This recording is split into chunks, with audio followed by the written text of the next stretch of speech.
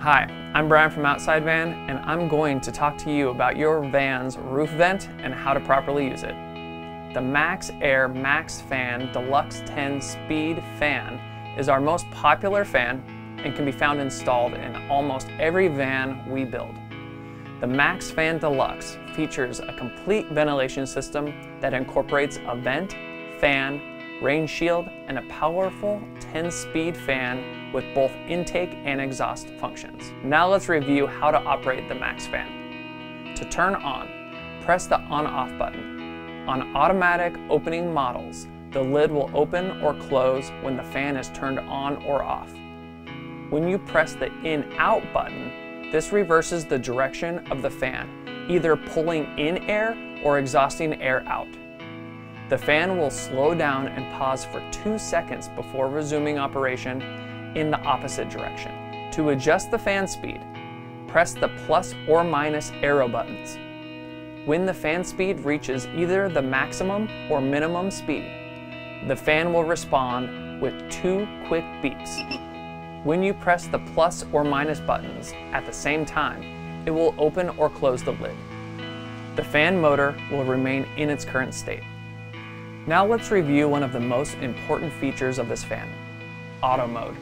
It allows the thermostat to turn the fan on and off depending on the setting you determine, thus giving you hands-free operation. To turn on auto mode, press this button once for less than three seconds. Three quick beeps will confirm the MaxxFan has entered auto mode. To exit auto mode, press the on-off button. Initial factory settings for the thermostat is 78 degrees Fahrenheit. The green LED will light to indicate the MaxxFan is in auto mode. To change the set temperature, press the hold to set button for more than three seconds and you will hear one long beep and the thermostat will be reset to 78 degrees Fahrenheit. To further adjust the set temperature, use the plus or minus arrow buttons to adjust the thermostat up or down in one degree increments per press. The fan will emit a beeping sound to confirm this setting. If a previous thermostat temperature was entered, the fan will remember this temperature setting and the next time you enter auto mode, the fan will start ventilating automatically. The fan speed will automatically adjust based on the cabin temperature. As cabin temperature rises, the fan increases in speed. The included fan remote control has all the same controls as we've reviewed here. This allows you to make fan adjustments from just about anywhere in your van. Depending on how many MaxxFans you have in your van, we have some recommendations for efficient usage. First, we'll go over our suggested operation if your van has one vent. If you're camping in temperatures hotter than inside the van, we recommend running the fan on exhaust mode with as many windows open as possible. This will expel the hot air rising in your van, replacing it with fresh air being pulled in through the open windows. Remember, the larger the window opening, the better, as smaller openings restrict airflow. Proper airflow is important for controlling condensation in your van.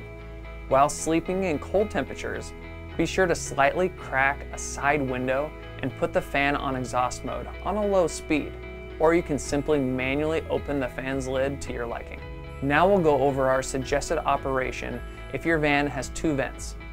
If you have two MaxxFans and you're camping in hot temperatures, we recommend running one fan on exhaust mode and one fan on intake mode, plus opening as many windows as possible.